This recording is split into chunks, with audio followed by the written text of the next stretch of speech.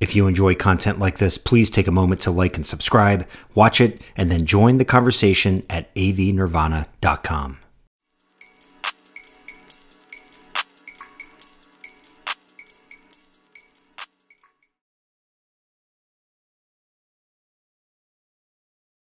Rolling. All right, so it's going to be you guys. So Geddes approach Sorry. to optimal bass. So first, let's talk a little bit about why Geddes would be an authority on this topic. So he earned a PhD in acoustical physics from Penn State in 1982, and he wrote his dissertation on low frequency sources in small rooms. So basically, he was actually looking at how low frequencies operate in small rooms, and specifically was looking at things like wall, like what would be the equivalent of wall construction and the low frequency source placement and how it affected modal behavior. Uh, this was important because what he learned in his dissertation was the importance of the wall construction itself, which affects the dampening of the walls, the impact of having multiple low frequency sources as opposed to the, as opposed to the typical one or two that you would have, and um, probably best of all was he had an appropriate mathematical model for looking at all of this. So um, one thing to think about is why do we care so much about bass? So Floyd Toole has made a point that um, importance of bass in our perception of sound could equal as much as 20%, one-fifth of our judgment of sound quality. So that means that bass represents a really large part of how we perceive the sound of a room. Um, it's really important in home theaters. We know this, like watching mic system going boom, that gets exciting. But in many cases, we don't want to sit in a room and have this seat sound different from this seat or this seat or the ones behind. We want to all have that same experience. So what we hate, we hate when that bass is boomy, when it lacks extension, when there's no visceral component, you can't feel it, and when it's distorting. In fact, while only 20%, which is actually still a good number, of our perception of quality might come from bass, when, uh, when there's distortion in the system from a subwoofer overloading, it can be perceived as, as if 90% of the system is failing kind of thing. Like that small thing can actually make the whole system sound wrong. So, s the first thing we need to know is that this is an important concept because small rooms just suck for bass. That's just straight up something everybody has to accept. And a small room does not mean like a closet or a bathroom. It means any domestic sized space. So they suck for bass because they have really strong modes. These are these reflections that take place off of the walls in a room, which interfere with the sound that we hear at any given position within that room, that cause these big, it just wreaks havoc. It causes these really big peaks and dips. And there's things that make it worse, like the walls themselves are uh, very rigidly constructed, which typically causes a relatively higher in the frequency of the bass range, about 65 to 70 hertz. Peak of absorption, it's a very, very high Q, so it's a very narrow peak. That isn't really of great use to us. Um, and they don't tend to just, they just don't sound good because of all these modes. So Geddes came up with a concept that can best be described as a systems approach. So rather than it being based on some individual principle, he actually developed an entire approach to developing a sound system in a room that maximizes the quality of, of the lower frequencies. And so our preference is going to be for a smooth response, but not a flat response. Now, this isn't something that Geddes invented. In fact, Toole did research on this um, in Canada where he had people sit in a room and listen to different low frequency curves. And they looked to see what kind of a curve people perceived. And it turns out people like a bit of a boost in bass, not quite a bit. Uh, roughly, it's 1 dB per octave from 20 kilohertz, so about 10 dBs in the low frequencies. So we want to have a, a, a decent rise. Um, as I said, Geddes doesn't define this, but I already told you what it really should be. And when I say 1 dB, that's kind of what they came up with. But as we know, everybody's got their own preferences. These numbers actually get hotter yet. They get as high as 20 dBs, where people still consider that to sound smooth and flat. And uh, we all want the same good bass everywhere we sit. So I mentioned nobody wants to be in a situation where as you move seat to seat or turn your head, the bass changes. And that actually does happen in most rooms. So let's talk a bit about room modes because that's the whole point of the multi-sub approach. So all small rooms have modes below about 100 hertz uh, or 200 hertz in that range. Where they start is based on this concept that uh, I had mentioned in the last talk. It, there's a st statistical region or a stochastic region in the room where the modes are so tightly placed together that you cannot separate them. So that kind of an area doesn't really count. We don't care about that. Then we get into a region that's kind of a transition zone where it overlaps with the uh, modal region that we're really interested in here. And that region isn't all that well defined. Arguably, it's going to be somewhere between the Schroeder frequency of the room, uh, which is typically somewhere between this 1 and 200 hertz range, and let's say about 5 to 700 hertz. but um, the modes we care about are the ones that can be seen as distinctly separated. And so those are going to be largely falling below the Schroeder frequency of the room, and that's why I'm saying somewhere between 1 and 200 hertz. These are, as I already mentioned, these are interactions of, uh, they're standing waves. So they're interactions of waves traveling in multiple directions that create a pattern. Um, and so what happens is the sound comes out of the speakers, right? the sound is going to hit that wall and it's going to come back. So some of the sound that's coming from the wall, from the speakers this way and coming back from that wall hit each other, causes a cancellation. Some of that sound is going to hit the ceiling and come down, that's going to cause a cancellation. It hits this wall, it comes over, it causes a cancellation. They're going to go back and forth and cause cancellations. They're going to go in different angles and come back and cause cancellation. So all of this is what leads to those modes. And those are going to be shown as peaks and dips in the response. And because of where you're sitting, you're going to sit in different areas that are sort of like different hotspots. So this area is going to have a different pattern of peaks and dips than this area. And in fact, if I put a person here, the, the modes that they're going to hear are going to be the same, but which modes are excited depends on where the speakers are placed. So if different speakers are playing in different positions or in different general areas of the room, so when I say general areas, it could be that it's the right speaker, but it could be here versus in the corner, can actually affect which modes get excited here. So because of that, we actually need to come up with a scenario where we're exciting the modes uh, more uniformly, as many as possible. Oh, and the steady state concept. So what we hear at low frequencies actually is not direct sound. So at most mid and high frequencies, what we hear is primarily the sound that comes from the speakers, and everything that hits the walls is perceived as delayed sound for the most part. At low frequencies, that's not really true. At low frequencies, what we hear as the steady state or the sound that is sort of perceived as if it's the direct sound actually contains all of the reflections that have happened in the room, in many cases multiple times.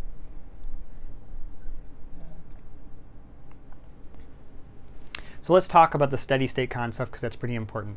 Below this uh, FS or Schroeder frequency, we can only understand a room by its steady state response. That's that idea I was telling you about. So at 100 hertz, the period is 10 milliseconds and it takes 30 milliseconds to register the tone 100 hertz. So in a small room, the sound would have bounced off many walls. So the way to think about this is 30 milliseconds is long enough to have already gone all the way back there. It, this is not quite right, but for the sake of argument, a millisecond is roughly equal to a foot. It's actually a little bit less, but we're just going to pretend like that. So if a room is 30 feet long, then the distance between here and there is how long it would take to do that. So in most rooms which are nowhere near 30 feet long, we're typically talking more like between 50, 15 and maybe 25 feet, the sound can go all the way to one part of the room and come back and still fall within the tone range of 100 hertz. At lower frequencies, this goes up. So you can get a sense of what we mean by steady state and why this is important. This means what we hear as direct sound is actually the room and the source.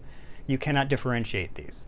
And in fact, as I mentioned, at 100 milliseconds, we're talking about 10 or 100 hertz, 10 milliseconds is a period. At lower frequencies, that period becomes even longer. So what that means is that when I say that the most of it is a mixture of the direct sound from the speaker and the room itself, at lower frequencies, it's even more the room than it is the speaker. All right, and this means that the quality of a subwoofer is actually really uh, relatively minor relative to the quality of the room itself and so differences between su subwoofers tends to be more about differences in how like peak output and low frequency extension than they are in some other discernible difference. Like we often think about high-end speakers sound better than low-end speakers and there's lots of reasons why that would be. With subwoofers, every subwoofer really sounds the same as long as it's operating within its linear range. And so the differences we hear tend to actually come from the differences in peak output and the differences in extension and not in some sort of other uh, quality difference that could exist. So in Geddes' dissertation, he found that with well-distributed dampening, meaning most of the room had dampening in it, there were no differences found in shape.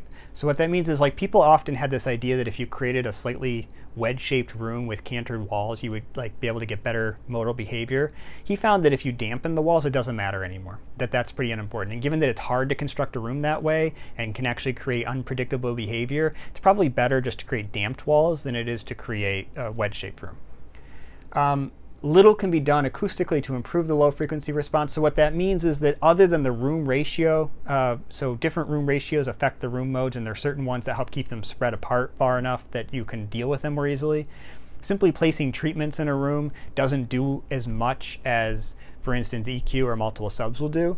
And so what he's basically saying is there's not a lot you can do about this problem if all you're trying to do is throw up some treatments on the wall. And the total number of low frequency sources as the total number of low frequency sources decreases, the spatial variance increases. What that means is the less low frequency sources there are, the more variation there is as you move around. So this is really interesting. This means that we don't want spatial variance, right? We don't want to have the bass change. And, and I've heard people say before, well, my main listening position is the only one I care about. So can't I just optimize that? Yes, but eh, there's a couple problems. So one is sometimes that one position is just bad. You know, it's like just happens to be a bad spot given where you've placed your speakers. So one thing that multiple subwoofers can do is help reduce that variance so that one spot becomes a good spot. Now another thing is that um, it can actually create relatively large differences over a small distance. So six inches could be enough to show a pretty big difference. And most of us don't sit with our heads like this perfectly. We tilt our head a little bit from one side to the other when we're sitting and relaxing. And so you want the bass to stay constant when you're doing that. Um, so if good bass is smooth bass and rising in level with low spatial variance, how do we achieve that? So EQ is not enough to do that. Uh, acoustic treatment isn't going to do that. But there are some ways we can achieve that. So uh, we could create a completely anechoic space. There would be no reflections that would get rid of it. There's another way we can do this. We can actually cancel, through the production of a planar wave, all of the reflections. And there is methods for doing that, and there's an argument that that's a good thing. Now, as I mentioned, this is Geddes' approach. And Geddes and I have talked about this. Geddes believes that's not good because it, he says he says that's basically what bass sounds like outside when there's no reflections. So his argument is that we actually rely on reflections for spatial information, and we don't want to completely get rid of reflections. So totally canceling all of the modes out by canceling all the reflections makes the room unnatural. But yeah, it's going to be really, really flat and smooth with no variance. So he believes a better approach is the use of, use of multiple low frequency sources that are placed in different areas in the room. And as I mentioned, Geddes discovered this idea in the early 80s, but it really hadn't become popular until Welti's seminal paper, which was published in 2006. So let's talk about how we set this up. Okay, so the real reason everybody came to this talk is they wanted to find out about this. So this is what I do, and Geddes and I have talked about this. This is going to be, I'm going to tell you now, I'm not Earl Geddes. I am telling you how I have interpreted his approach with his blessing to a point. But um, there are certain aspects of his method, method that are more conceptual than they are written down. And so I'm telling you some ideas that help you achieve his approach, but he maybe hasn't said this before. So the first one that he doesn't really talk about is where I say model your room in REW and apply a similar number of discrete subwoofer locations. So Geddes has, in some cases, told people place your subwoofers here. He says one in a corner, uh, one on a side wall over there, for instance, and maybe like one in like the middle of the back wall. Like that would be an okay location. Or uh, it, you know, you might have one on this side wall, one on this side wall, and one in a corner. That's another approach.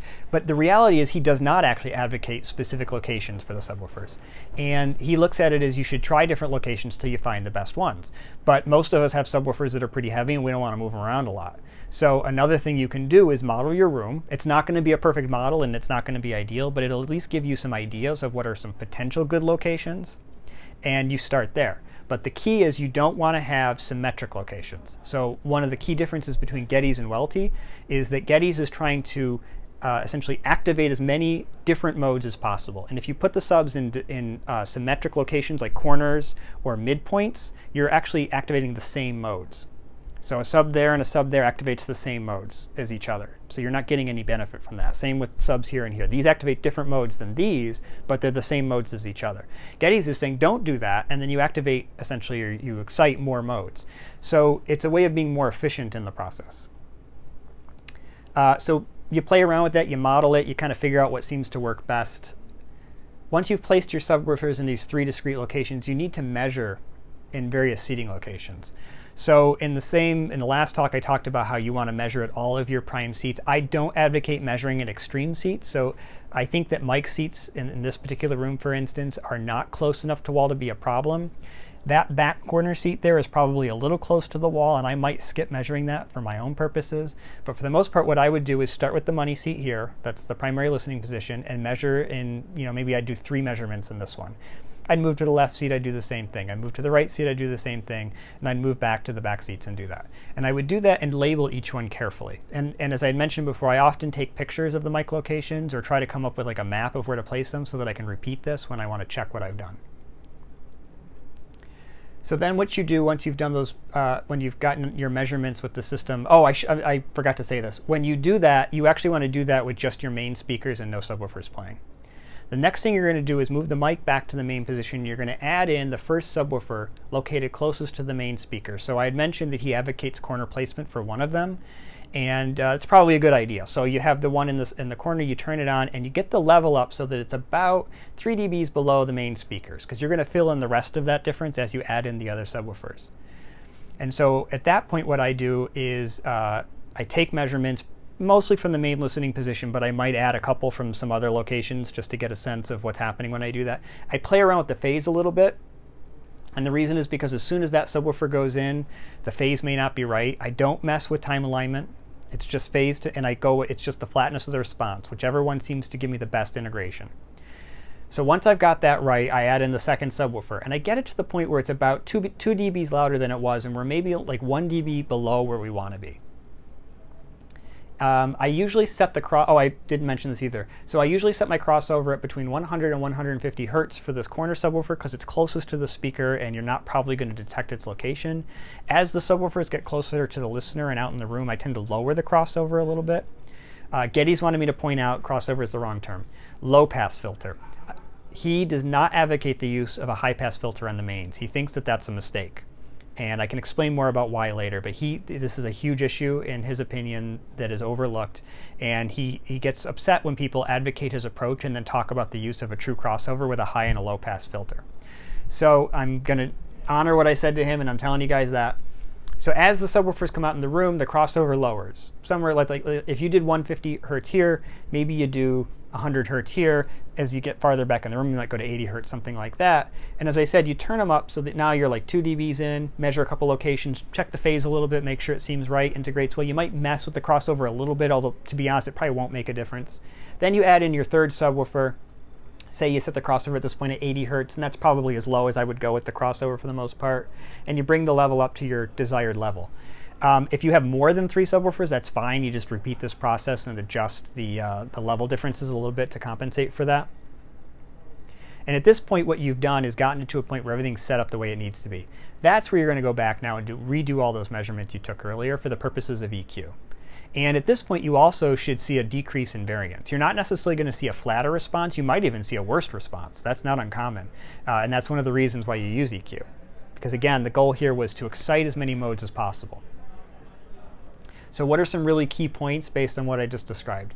So we're using what he called pseudo-random locations, but I want to point out pseudo-random doesn't mean like literally anywhere. His goal was about non-symmetric locations that are exciting as many modes as possible. More low frequency sources is better. Now he uses three, but you gotta remember, I said at the beginning of this that his approach is a systems approach. And so while we think of low frequency sources as being subwoofers, most mains are capable of being sources as well and especially if you're buying uh, speakers like Matt has designed, which have large woofers and are capable of relatively low output, uh, those constitute a low frequency source. And the area where you tend to have the most problems is between about 50 hertz and 150 hertz. And so having the most number of low frequency sources in that key range is really what's most important to reducing this variance. And so Geddes talks about using three subwoofers as low frequency sources, but he actually uses his mains, which is uh, up to three additional low frequency sources, which are run full range as part of that. He uses very uh, shallow low pass filters and no high pass filter, as I mentioned. So a lot of times you hear people talk about sort of the standard THX or Dolby approach, which usually relies on a, a Linkwitz-Riley fourth order low pass filter and a uh, Butterworth or Linkwitz-Riley second order high pass filter. So as I mentioned, Geddes doesn't like that approach. He doesn't use fourth order low pass and he doesn't use uh, second order high pass. He uses no high pass, he uses the natural roll off of the speaker, and he uses sealed speakers, his own designs. Um, and he uses a first order low pass. Uh, and then takes advantage of what would typically be the natural roll off of the subwoofer as well. And that minimizes the additional group delay that can happen from this, and in his opinion, provides better integration. Oh, and I guess I didn't mention this one of the key points that comes out of this is that he really doesn't make a big deal about time alignment. He's really more looking at absolute phase and um, steady state response. So here's an example of um, what can happen when you start to change the sources. So I've created a little graphic and you can see the number of low frequency sources that are changing. So you have the mains, one subwoofer, two subwoofers, three subwoofers, different locations. And you can see how the variance in these measurements at these different locations changes. Now this is a model and some of you are probably thinking, well, okay, but that's a model. Is that what really happens in real life? And the answer is yes, this is what happens in real life, but it's easy to show you with a model. So now we're going to look at two different approaches, Geddes versus Welti. So my point with this is not to say, hey, I think Geddes is better than Welti. They're different and they're in many ways more similar than they are different. But um, the point of this was to show you what happens when you apply the Geddes approach in terms of maximizing the number of modes that get excited, you do tend to see sometimes a little bit smoother response. Now, I gave you an example that definitely is showing the Geddes approach is looking better. But the reality is I could also put together a scenario where the Welti approach would look better. It just depends on the room, and that's why sometimes just playing around with location is a good idea. Geddes approach, I think, conceptually makes a lot of sense. The idea of trying to excite as many different modes as possible makes sense. But Welti's approach works, so maybe it's not the end all. Um, Another thing I didn't mention, but I showed it in the diagram, Geddes plays around with height as well as the, so like the X, Y, and Z position basically of the subs. So he advocates moving some of the subs off the ground. So let's talk specifically about the differences that at least have been talked about on the forums and, and uh, you know, in my conversations with Geddes, my read of Welti's work. Geddes uses his mains full range and includes them as low frequency sources, whereas Welti typically uses only the subs as low frequency sources, and there is a clear high pass, so there's, a, there's an actual crossover between the two. Geddes advocates for the three or more low frequency sources. Uh, Welti advocates for four low frequency sources specifically. Geddes uses pseudo-random placement, Welti, uses symmetric placement. So I mentioned already, the pseudo-random doesn't mean anywhere, it just means non-symmetric. Uh, Geddes advocates for sealed mains. Welti's approach uh, is alignment agnostic for the mains and subs um, because of the way that it's being implemented. So uh, Geddes has said, and this is where I sometimes think some of the uh, discrepancies come in to, in the discussion of this, if you're using ported mains, you may want to apply a high pass just to protect the woofer. Now, most uh, bass management systems don't allow you to do this, but you can do it with external EQ. What he would argue is that if you have to apply a high-pass filter to the mains, you would A, apply a shallow one to try to give it a first-order roll-off, and B, uh, you would actually make sure that there is significant overlap. So instead of saying you've got 80 hertz as your uh, high pass filter on the mains and 80 hertz as your low pass filter on the subs, you would have maybe like 50 hertz as your high pass filter on the mains and 150 hertz as your low pass filter on the subs so that there's significant overlap. So what about EQ? So I can't speak for everybody that advocates these approaches. I believe Welti does advocate the use of EQ. Uh, I know James, who's in the room, has mentioned that no EQ, uh, but with the advantage of the reduction in spatial variance means multiple subs can smooth out the response and you don't need it. Uh, but Geddes does say to use EQ, and he uses it to knock down the big modes that tend to still be there. Uh, you know, like one of the things that happens, especially at lower frequencies, when you add low these additional low frequency sources is that certain modes, especially that one longitudinal mode, that one length mode, which is often in like the 20 to 30 hertz range, just gets bigger and bigger and bigger. So in my system, and you'll see this in the measurements, as I add sources, my mode at 22 hertz just gets bigger. The multiple sources doesn't make it better, and that's because they won't. Multiple sources has nothing, has no effect on that really low mode. So what you got to do is add EQ to knock that back down. So uh, he says, you know, two to three bands of PEQ is probably enough to fix the problem. If you're finding you need to use more than two or three bands, there may be something wrong with the setup and you should go back and play around with it. But I don't know that he would be or I would be against using more than two or three bands if need be. It just depends on the system what you're trying to do with it. Um, but basically, the argument is if you find yourself very quickly needing to get into five or six or 10 EQ bands, you may want to look at the phase of each sub, make sure that you've got good integration there, that the placement is ideal, that the volume is at the right level, um, because you don't want to try to fix through EQ what you can fix passively. The crossover frequencies that I mentioned are not absolute and they depend on the room. Small differences aren't going to make a difference in the measurements, but larger differences could. And so you may play around with this. It's possible that placing a subwoofer back over there and crossing it over at 100 hertz causes it to somehow excite a mode between 80 and 100 hertz too strongly. And so you might actually apply a lower crossover on it to reduce the way that it excites that mode. Um, and then one of the key things to keep in mind is that if a sub is too close to the mains, it constitutes as a co-located source. And um, when the subs are relatively close to the mains anyway, that higher uh, crossover point that I mentioned doesn't tend to be audible. Um, Geddes suggests using EQ to eliminate the big peaks. I already mentioned that. Uh, the only so when you look at all the different measurements, I mentioned that we're going to take a bunch in different locations. You'll sometimes see peaks and dips in certain measurements and not others. You don't want to be EQing any kind of peak or dip in the response that doesn't show up everywhere because then it's going to just make it worse. That means you still got some variance, which typically you will. And EQ can't fix problems which change with measurement position. That's what I was just talking about. So basically, if you see things changing around with different positions, then that's spatial variance. The only fix for that is the room acoustics or the subwoofer placement. So how do you EQ? So Geddes suggests using multiple measurements taken at multiple listening positions and is never given an exact number. Um, so more measurements equals more room information, and that's kind of more like what kind of time and attention span do you have to deal with this? The more the better. Uh, avoid measurements that are at extreme listening positions. I already mentioned that. EQ to minimize spatial variance. Do not use averaging. So sometimes you'll see people who will take measurements at lots of locations, they average them all together, and then they EQ the average. So one of the problems with that is that the average can sometimes incorporate information that was actually unique to a particular uh, place, and you'll EQ it out. And uh, it, what happens then is you can make the spatial variance worse. So his approach actually says don't average them, but apply the EQ in a way that lets you look at all of them. And there's some software you can do that with, or you can kind of eyeball it by applying it in REW and just looking at the different measurements you took with the same EQ to see. And so the reason to do it that way is just because you want to make sure that you don't apply like a drop in the peak that suddenly causes, uh, for instance, a dip in a response in an area that like it, you dropped it there. Excuse me, you caused a dip there and a dip there. Okay. Um, so the low frequency problem, one of the things to think about is why we're applying EQ and what we're trying to do. So rooms and speakers are minimum phase, which is why we can use PEQ. So peaks in a response cause ringing, dips do not. And the goal here is to have a smooth low frequency response, not necessarily flat, already mentioned that. Uh, so one of the things you'll notice in any of these kind of waterfall plots is that anywhere there's a peak, there's a, a ridge that's ringing. So I showed you guys in the last one, this is what the application of EQ does. And you can see, by the way, um, well, I guess you can't really see that easily, but this causes the, the decay to look smoother.